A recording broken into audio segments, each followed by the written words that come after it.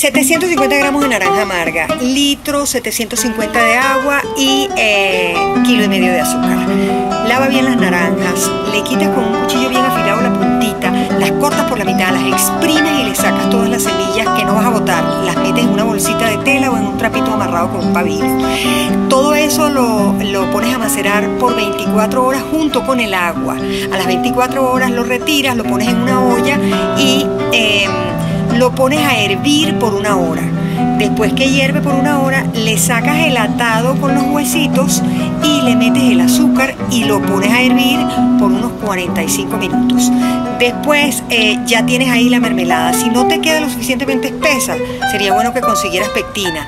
Y en cuanto a los tarros, tienes que hervirlos, ¿oíste? Tienes que hervirlos, porque bueno, yo por lo menos uso tarros reciclados. Eso, esa es la mermelada de la naranja amarga que yo, que yo hago. Un beso.